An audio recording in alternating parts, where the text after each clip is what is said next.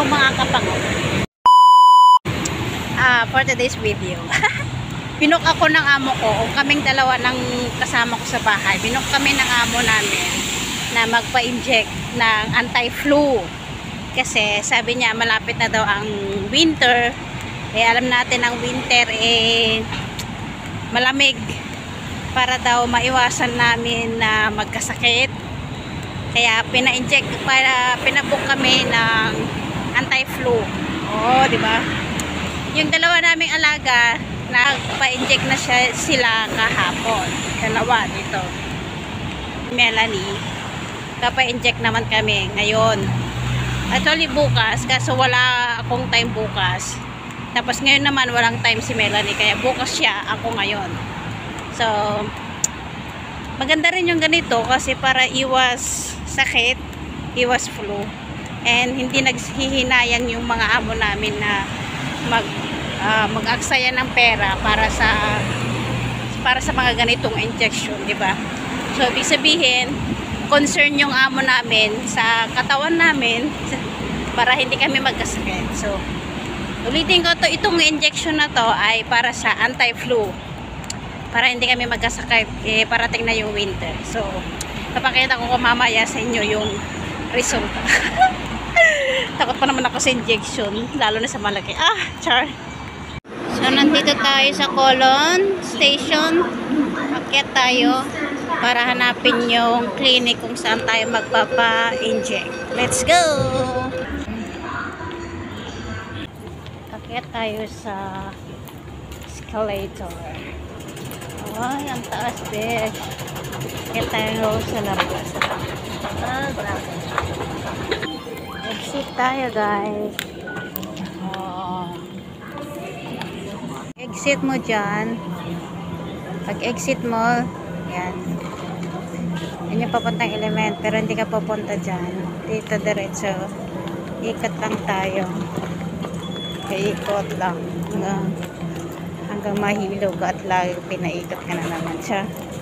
So, diretso yan. Tapos diretso. Ikot ka lang. Tapos, baba ka dyan sa escalator na yan. Tapos, ayan na yung clinic. Yan. Kung nakikita mo yung clinic na yan, ayun. Yan na yan. So, pag ikat mo ganyan, baba ka doon, yung clinic nandun na. Ayan na yung clinic. Okay.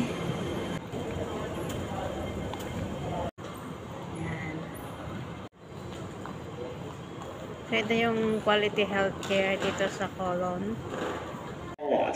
So, nandito na tayo sa quality healthcare. Magpapa-inject tayo ng anti-flu. So, nandito na tayo sa clinic. Ayan. Antayin natin tawagin yung pangalan natin. Tapos na tayo. Pero, ay sakit anti-flu yan para hindi tayo magkasakit. Okay na siya. Para hindi tayo lagnatin thank you sa amin namin may concern. Malapit na ang winter kaya nag-anti-flu tayo para hindi tayo magkasakit. Kaya so tara hindi na tayo. Guys so pauwi na ako. Tapos na injection ko. So ito siya ay, masakit besh. Kaya, ano yan? Oh. Bale, ano yan? Ah, anti-flu para iwas sakit tayo kasi malapit na yung winter. So, thank you sa amo natin. Sa amo ko na may concern sa aming mga helper niya. Yun yung maganda sa mga amo. Yung may may concern yung mga amo sa mga helper nila para hindi sila magkasakit, 'di ba? Kaya laki kami ng kasama ko na may ganung puso yung mga amo namin. So, mga kunyang dyan, mga kunyang dito sa Hong Kong, ingatan po natin yung mga sarili natin para hindi po tayo magkasakit kasi mahirap magkasakit na mag-isa dito.